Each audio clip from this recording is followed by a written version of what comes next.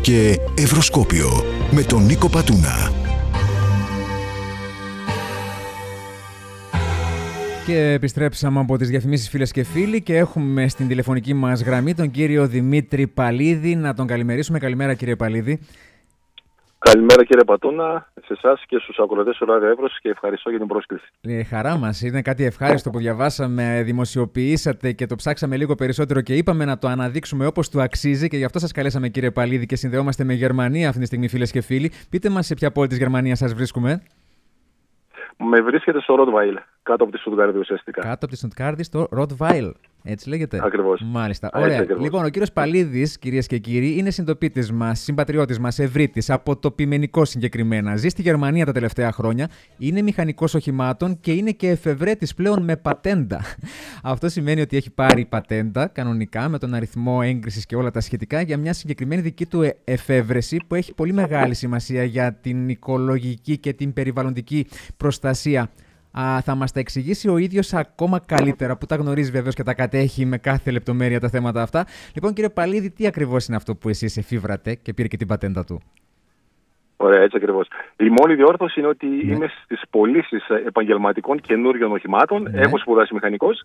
Και η τριβή μου ουσιαστικά με την πώληση και με τα τεστ ε, κατέληξε στο να έχω μια ιδέα ό,τι αφορά τα επαγγελματικά οχήματα. Βέβαια, είχα τριβή από μικρό παιδί. Mm-hmm. Με τον πατέρα μου, τον αδερφό μου, ουσιαστικά επειδή είχαμε από μικρά παιδιά στη μηχανολογία, θερεζολιστική μηχανή. Οπότε είχα πάντα την τάση, θα έλεγα, στο να βρίσκω καινούργια πράγματα. Mm, λοιπόν, μάλιστα. στο θέμα μας, η εφεύρεση αφορά την μείωση της κατανάλωσης του καυσίμου στα επαγγελματικά οχήματα.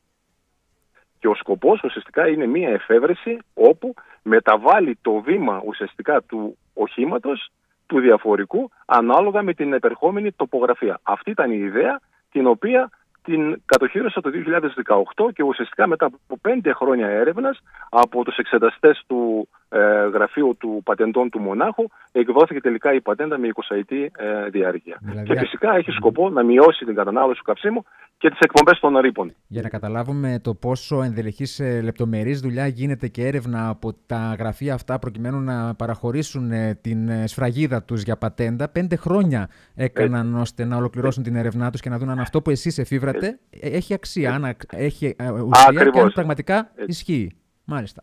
Και πότε λοιπόν πήραμε, ναι, ναι, ναι, πότε πήραμε την έγκριση; Την έγκριση πότε την λάβατε; Την έγκριση την έχουμε λάβει ουσιαστικά από τον Ιούνιο του 2023. Άτυπα βέβαια υπάρχει ένα χρονικό διάστημα περίπου των 8 μηνών ναι. που πρέπει να είμαστε σε αναμονή και προσεκτική διότι μπορεί να γίνει κάποια ένσταση από ένα εργοστάσιο από κάποιο άλλο φορέα που να λέει ότι ε, ουσιαστικά έχουμε και εμείς δικαιώματα. Αυτός είναι ο λόγος ουσιαστικά που δεν προβλήθηκε η, η πατέντα νωρίτερα. Από τον Ιούνιο μέχρι τώρα παρήλθαν οι 8 μήνες τώρα. Ε, υπήρχε ένα διάστημα, ακριβώς περάσανε. Είμαστε, είναι Μάλιστα. 6 μήνες με 8 ουσιαστικά από το δικηγορικό γραφείο είχαμε το OK ότι σας ανήκει, έχετε 20 ετή δικαιώματα και από εκεί και πέρα μπορεί να. Δεν υπήρξε δηλαδή στον κόσμο πουθενά κανένας άλλος να σκεφτεί κάτι παρόμοιο. Αυτό επιβεβαιώθηκε πια αυτό το οκτάμινο που πέρασε. Και τώρα από σήμερα η πατέντα σας ανήκει για 20 χρόνια. Κανονικά μπορείτε να την διαχειριστείτε εσείς. Πώς όμως ε, πρακτικά μπορεί κανείς να την εφαρμόσει αυτήν, θα δημιουργηθεί ένα σύστημα το οποίο θα πωλείτε, εσείς θα έχετε επαφή με κάποιους ανθρώπους για να τους βοηθάτε, να τους κατευθύνετε; Πώς θα γίνει αυτό; Κοιτάξτε να δείτε. Εννοείται είναι ένα project το οποίο πρέπει να αναλάβει ε, ένας φορέας, ένας ε, κατασκευαστής ε, φορτηγών αυτοκινήτων. Είμαστε ήδη σε επαφή με κάποιες εταιρείες όπου έχουμε δώσει την ιδέα μας, γίνεται αξιολόγηση και βέβαια ελπίζουμε και ευχόμαστε να πάμε σε περαματικό στάδιο έτσι ώστε να δοκιμαστεί. Εγώ προσωπικά είμαι πεπισμένος ότι θα υπάρξει μεγάλη διαφορά στην κατανάλωση του καυσίμου με επιχειρήματα. Γι' αυτό το λόγο πήραμε και πατέντα και για να το καταλάβει και ο κόσμος πιο απλά, ουσιαστικά όταν εκδίδεται μία πατέντα σημαίνει ότι είναι κάτι καινούριο, το οποίο δεν το έχουμε δει πουθενά είναι κάτι το οποίο επιφέρει μείωση κατανάλωση, έχει ωφέλη. Και το τρίτο, το σημαντικό κύριε Πατούνα, ότι είναι πραγματοποιήσιμο. Δεν είναι φανταστικό. Άρα αυτά τα τρία στοιχεία κάνω την πατέντα ότι μπορεί να πραγματοποιηθεί. Το θέμα είναι όμως ότι ναι. Ναι, ναι, ναι, στην παρούσα φάση υπάρχει ένα κλίμα στην Ευρώπη με την ηλεκτροκίνηση. Υπάρχει δηλαδή μια πολιτική ε, βούληση, πίεση να πάμε προς την ηλεκτρική, ε, στα ηλεκτρικά οχήματα. Ό,τι αφορά τα ΙΟΤΑΧΗ, τα, τις ιδιωτικές χρήσεις, δεν υπάρχει αμφιβολία περί αυτού, κατά την ταπεινή μου άποψη, ότι προχωράει με πιο γοργούς ρυθμούς, αλλά θέλει πάλι χρόνια για να ολοκληρωθεί και να πούμε ότι έχουμε ηλεκτρικά αυτοκίνητα σε μεγαλύτερο ποσοστό. Ό,τι αφορά όμως τα επαγγελματικά οχήματα, θα σας δώσω μόνο ένα παράδειγμα. Ναι. Το 2023, κύριε Πατούνα, και οι ακροτέ που μας ακούνε, κατασκευαστήκαν και ταξινομηθήκαν στην Ευρώπη 266.000 επαγγελματικά οχήματα του τέστην, λεωφορεία, μικρά βανάκια, φορτηγά μεγάλων ε, αποστάσεων. Από, αυτά, από αυτές τις 266.000 οχήματα, μόνο 1% μόνο 1% παρακαλώ, επαναλαμβάνω, ναι. ε, κατασκευάστηκε και ταξινομήθηκε ως ηλεκτρικό φορτηγό. Άρα είναι δύσκολο από τη θεωρία να πάμε εντελώς στην πράξη και να κάνουμε τα φορτηγά 100%. Γιατί, και γι' αυτό πιστεύω αυτή λόγω η πατέντα. Λόγω κόστους κατασκευής είναι πιο ακριβά τα ηλεκτροκίνητα, οπότε δεν συμφέρει, γι' αυτό γίνεται. Καταρχάς, ε, δεν μπορώ να συγκρίνω με τα γεωταχή, συγκρίνω στο χώρο μου γιατί είναι τα ναι, ναι, και γνωρίζω. Ναι. Έτσι. Είναι περίπου τρεις φορές το φορτηγό πιο ακριβό από ότι ένα mm. diesel. Έχει αξία μεταπόλησης πολύ χαμηλότερη, είναι πολλά ταμείων ε, και από εκεί και πέρα είναι δύο τόνες πιο βαρύ έχει μια εμβέλεια 400 χιλιόμετρα, 500, ενώ ένα δίζελ μπορεί να κάνει 1500 χιλιόμετρα. Είναι πολλά τα θέματα και ουσιαστικά το κόστος είναι δυσβάστακτο. Και βέβαια δεν υπάρχουν ε, οι, οι αναμονές, η δομή δεν υπάρχει για να μπορεί να φορτίζει το φορτηγό. Θεωρώ εν ολίγης ότι θα πάρει πάρα πολύ χρόνο και θα δοθεί παράταση. Αυτό που είπαν ότι το 2035 θα υπάρξει απαγόρευση στα δίζελ. Ναι, Καταλαβαίνετε ναι. τι εννοώ. Δι, δι, διευκρινίστε μας κάτι, τι εννοούμε επαγγελματικά οχήματα, ποια περιλαμβάνονται σε αυτήν την κατηγορία; Επαγγελμα... Βεβαίως. Σε πρώτη φάση εγώ την ιδέα την είχα και αφορούσε αποκλειστικά φορτηγά, τράκτορες μακρινών αποστάσεων. Όπως επίσης και τα λεωφορεία. Δηλαδή είναι τα φορτηγά, τράκτορες, ε, λεωφορεία θα έλεγα, κάποια 16 τόνα, 18 τόνα, όχι τόσο πολλοί οχήματα τα οποία είναι της περιοχής, δηλαδή που κινούνται. Ναι. Όπως είναι τα σκουπιδιάρικα, π.χ. να το πω έτσι. Όπως είναι ε, άλλα οχήματα τα οποία είναι, κινούνται στις πόλεις. Εκεί θεωρώ ότι θα προχωρήσει ε, ό,τι αφορά την ηλεκτρική ε, τεχνολογία. Και με όσα έχετε καταγράψει, το, το κέρδος ποιο θα είναι, δηλαδή ποια θα είναι η μείωση ποσοστιαία στην κατανάλωση καυσίμου. Κοίτα, Κοιτά, κοιτάξτε να δείτε, έχουμε σημειώσει εκτιμόμενη 10%. Το 10% δεν βγήκε τυχαία. Δεν βγήκε τυχαία. Δηλαδή, είπαμε ένα 10% δεν βγήκε τυχαία. Ότι 10 γιατί όχι 8, γιατί όχι 12. Καταλαβαίνετε. Ο λόγος είναι ότι επειδή είμαι στον χώρο, γίνανε κάποιες δοκιμές. Δηλαδή, να πάρει πελάτης μας τράκτορα, ο οποίος δεν είχε το κατάλληλο βήμα του διαφορικού σε μια τοπογραφία όπου ήταν αναβάσεις και το αποτέλεσμα ήταν να κάψει 10 λίτρα περισσότερα στα 100. Την άλλη φορά του δώσαμε άλλο τράκτορα με κοντινό βήμα, ναι. όπου ήταν το όχημα πολύ πιο οικονομικό. Και εκεί μου ήρθε η ιδέα ότι ουσιαστικά πρέπει να εφευρεθεί ένα σύστημα το οποίο να διαθέτει το φορτηγό βήματα τρία διαφορετικά για όλες τις τοπογραφίες. Ουσιαστικά τι γίνεται με αυτό; Περιορίζουμε τις, ε, πώς θα το έλεγα, ε, ουσιαστικά τις αχρίαστες περιτές στροφές του κινητήρα. Οπότε δουλεύει ο κινητήρας πιο ήρεμα, το ταξίδι είναι πιο ήρεμο. Αλλά και οι εκπομπές ρήπων είναι χαμηλότερες, έτσι. Γιατί και μιλάμε ακριβώς, και για κατανάλωση ακριβώς. χαμηλότερη, άρα οικονομία σε χρήμα, αλλά και, και εκπομπές ρήπων διοξιδίου του άνθρακα και άλλων ε, ναι. πολύ πιο σημαντική μείωση. Έτσι. Όλα αυτά βέβαια ναι. θα τα δούμε στην πράξη αν και εφόσον προχωρήσει η όλη διαδικασία, Πο... το οποίο είμαστε. Πόσο αισιόδοξος είστε ότι θα προχωρήσει αυτό, ευελπιστείτε ότι θα βρεθεί κάποιος ενδιαφερόμενος για να σας ε, εκμεταλλευτεί, αν όχι αξιοποιήσει, να το πω καλύτερα. Έτσι.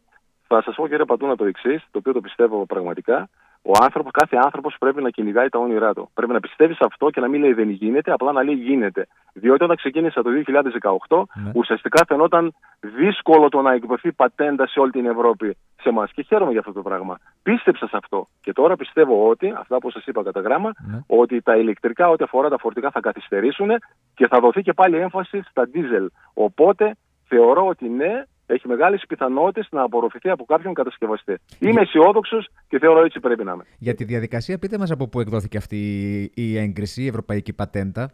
Ποιος το αναλαμβάνει, τι γραφείο υπάρχει, υπάρχει κάποιο γραφείο συγκεκριμένο στην Ευρώπη; Λοιπόν, θα σας πω αμέσως. Ναι. Σε πρώτη φάση είχα την ιδέα. Ναι. Έκασα την, περιληπτικά ε, την ε, έγραψα και τη σχεδίασα πώς ακριβώς θα δουλεύει και ποιο θα είναι το αποτέλεσμα. Ναι. Μετά έγινε στη γερμανική γλώσσα, έγινε πολύ πιο σωστά και μετά έγινε η καταχώρησή της στην Γερμανία, σε γραφείο πατεντών της Γερμανίας. Αυτή είναι η σειρά, έτσι ξεκινάμε. Mm-hmm. Με το που έγινε η καταχώρησή της το 2018 το Σεπτέμβριο, παίρνει στην, ουσιαστικά παίρνει ο εφευρέτης την ημερομηνία. Δηλαδή σημαίνει από το 2018 και μετά από το Σεπτέμβριο, ναι.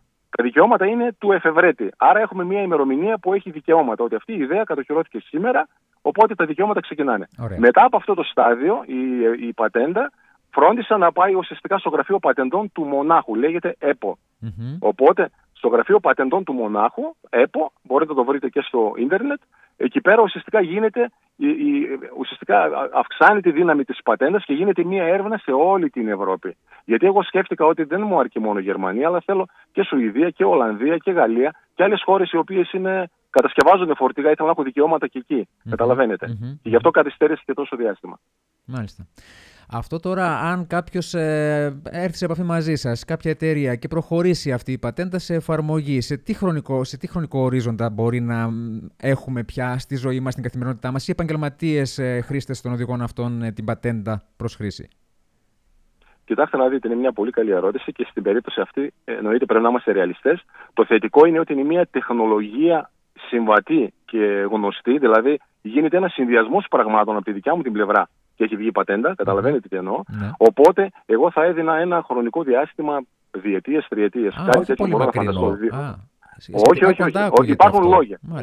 Ακούγεται κοντά ποιος είναι ο λόγος. Ο λόγος του σημαντικός είναι πρώτον ότι η πατέντα συγκεκριμένη έχει μία ισχύ 20 ετία. Ναι. Οπότε πρέπει να εκμεταλλευτεί σε αυτά τα 20 χρόνια. Και οι κατασκευαστές δεν θέλουν να περιμένουν. Θέλουν να έχουν το προβάδισμα ναι. έναντι άλλων. Ναι, γιατί μετά από 20 χρόνια ο... μπορεί αυτό να το πάρει ο καθένας. Πια δεν υπάρχει κατοχήρωση σε εσάς και κάθε εταιρεία μπορεί Ακριβώς. να τη χρησιμοποιήσει. Αυτό σημαίνει. Έτσι, έτσι ακριβώς. Και απ' την άλλη, το θετικό είναι ότι έχω τα δικαιώματα. Οπότε, αν κάποια εταιρεία προσπαθήσει να κάνει κάτι σε αυτή την κατεύθυνση, τότε μπορώ να απευθυνθώ και να πω, κύριε, εδώ ουσιαστικά είναι δικιά μου ιδέα, είναι δικιά μου τα δικαιώματα. Δηλαδή είναι πολύπλοκο το θέμα, το οποίο ναι. θεωρώ αρκετά θετικά. Αλλά κατασκευαστικά θεωρώ στο διάστημα τριετίας, γιατί πρέπει να γίνουν δοκιμές ε, ε, να αποδειχθούν πολλά πράγματα. Ακούγεται εξαιρετικά ενδιαφέρον και πολύ χρήσιμο βεβαίως για τους επαγγελματίες χρήστες αυτών των οχημάτων. Θα εξυπηρετήσει πολύ και στην οικονομία, στην τσέπη τους, αλλά και στο περιβάλλον, γιατί αυτό προφανώς η Ευρώπη το δίνει, του δίνει μεγαλύτερη βαρύτητα, το, ευρωπα... το περιβαλλοντικό αποτύπωμα αυτής της πατέντας. Και πριν κλείσουμε, κύριε Παλίδη, θα θέλαμε να σας γνωρίσουμε λίγο περισσότερο, γιατί είπα στην αρχή ότι είστε ένας συντοπίτη μας με καταγωγή από το Πιμενικό. Δώστε μας λίγα περισσότερα στοιχεία για το βιογραφικό σας. Ε, γεννηθήκατε εδώ, μεγαλώσατε εδώ στον Εύρο, στο Πιμενικό, στην Οριστιάδα. Ναι. Πού; Ακριβώς. Μεγάλωσα στο Πιμενικό. Ναι. Ουσιαστικά ήμουνα μέχρι το γυμνάσιο στο, στο Πιμενικό, δηλαδή δημοτικό γυμνάσιο. Μετά ήμουνα στο τέλο Οριστιάδος, ναι. τρία χρόνια στο Λύκειο, στο επαγγελματικό Λύκειο Οριστιάδος. Έπαιζα και βόλιο, μάλιστα. Έχω πάρα πολλούς αγαπητούς φίλους στον αθλητικό μήλο Οριστιάδος. Έπαιζα βόλιο. Ε, Ακριβώς έτσι. Ε, Στρατός, ε, σπούδασα μηχανικός ε, οχημάτων σε μια τεχνική σχολή στη θεσσαλονικη και μετά μεταπίδησα στις πωλήσεις επαγγελματικών οχημάτων όπως είναι η Σέτρα Κέσμπορη, τα λεωφορεία στην Αθήνα και μετά η γερμανική εταιρεία Smith Cargopool ε, πουλούσα ουσιαστικά επικαθήμενα τρέιλερ και από το 2017 είμαι στις πωλήσεις καινούριων οχημάτων και μεταχειρισμένων στην Γερμανία σε αντιπροσωπεία της ΔΑΦ μαζί εδώ με την οικογένειά μου. Επίκαιρο το ερώτημα, γιατί φύγατε, γιατί εγκαταλείψατε την περιοχή και φτάσατε στη Γερμανία; Κοιτάξτε να δείτε. Ε, ουσιαστικά ήμουν ένας άνθρωπος που ήθελα να δοκιμάζω πράγματα και εγώ και η σύζυγός μου. Θέλαμε να το δοκιμάσουμε. Και ήμασταν σε μια φάση, θα έλεγα, που τη δουλειά μου εγώ την είχα. Πάλι δούλευα σε γερμανική εταιρεία, ήμασταν μια χαρά. Θέλαμε όμως να δοκιμάσουμε, να πάρουμε εμπειρία. Ναι, στην ναι. Ελλάδα, βέβαια. Ήμουν ναι. σε γερμανική εταιρεία στην Ελλάδα. Μάλιστα. Θέλαμε όμως να αποκτήσουμε μια εμπειρία. Και επειδή είχα και το όνειρο της μηχανολογίας, καθίσαμε και το συζητήσαμε και είπαμε, ας το δοκιμάσουμε. Μπορούμε να πάμε κάποια χρόνια και από εκεί και πέρα να δοκιμάσουμε να δώσουμε τον καλύτερο μας σε αυτό. Θεώρησα ότι θα είχαμε λίγο περισσότερες ευκαιρίες στο αντικείμενο το συγκεκριμένο εδώ πέρα και τελικά, λυπάμαι μπορώ να το πω, αποδείχθηκε ότι έτσι είναι. ε, ναι, εκεί καταλήγουμε. Λοιπόν, από το 2017, ε, από τη νέα γενιά μεταναστών, ο κύριος Παλίδης, από το 2017 και έπειτα που εγκατέλειψε τη χώρα και φτάνει να ζει πια στη Γερμανία και να εργάζεται εκεί, ακούσαμε ακριβώς τι περιλαμβάνει αυτή η πατέντα της ευρεσιτεχνίας του, τι, κάποια τεχνικά χαρακτηριστικά πιο συγκεκριμένα, σίγουρα κάποιοι πιο εξειδικευμένοι θα μπορούσαν να τα καταλάβουν. Εμείς θέλαμε έτσι με πιο απλό τρόπο να κατανοήσουμε τι, εφ... τι αφορά αυτή η εφεύρεσή σας, κύριε Παλίδη. Νομίζω ότι μας δώσατε ακριβώς ε, τα στοιχεία που θέλαμε. Να σε ευχαριστήσω θερμά για αυτή την επικοινωνία και εύχομαι το καλύτερο από εδώ και στο εξής πραγματικά να σας αξιοποιήσουν όπως σας αξίζει για να βρει το δρόμο της η πατέντα πια και στην πράξη, έτσι. Έτσι. Ε, κύριε Παντώνα, σας ευχαριστώ και συμπληρωματικά θα ήθελα να πω Παρακαλώ. ότι κάθε άνθρωπος πρέπει να κυνηγάει το όνειρό του και να επιμένει σε αυτό.